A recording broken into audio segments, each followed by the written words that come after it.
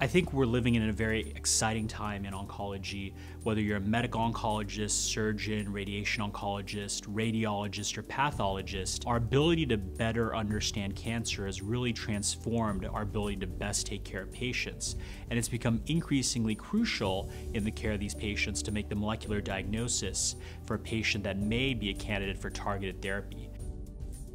Comprehensive genomic profiling is key for many of the clinical trials that are currently underway in oncology that are based on a precision medicine approach. However, we're not even able to offer those therapies if we don't make the correct diagnosis to begin with, and that's where CGP, I think, plays a key role in my practice and for my patients.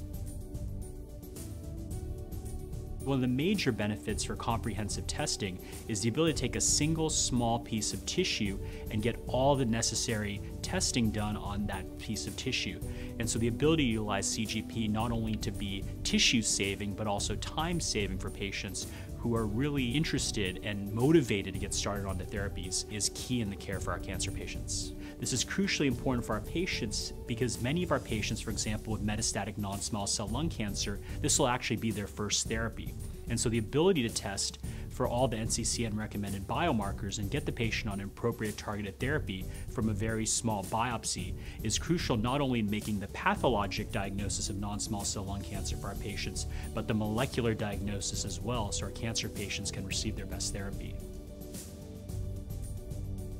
Many cancers have a molecular Achilles heel that we can now target. For example, in non small cell lung cancer, colon cancer, melanoma, thyroid cancer, and increasingly, we're starting to find in some pediatric cancers rare fusion events that we can actually target with pills that can help patients stay off chemotherapy for years and years, potentially with a very high quality of life and good control of their cancer. And then the other aspect that's of particular interest in oncology is whether we can actually make a diagnosis of cancer earlier using comprehensive genomic profiling and detect these mutations in blood before they present as an overt mass in cancer. And so, whether it involves taking a patient with known cancer with localized disease or potentially discovering cancer at a molecular level even before it's detected by imaging, I think these are some of the areas in which we're going to start to see CGP start to be utilized over the coming years. We have a lot more work to do for our cancer patients, absolutely. But to think we went from sequencing one person's genome in a decade for a billion dollars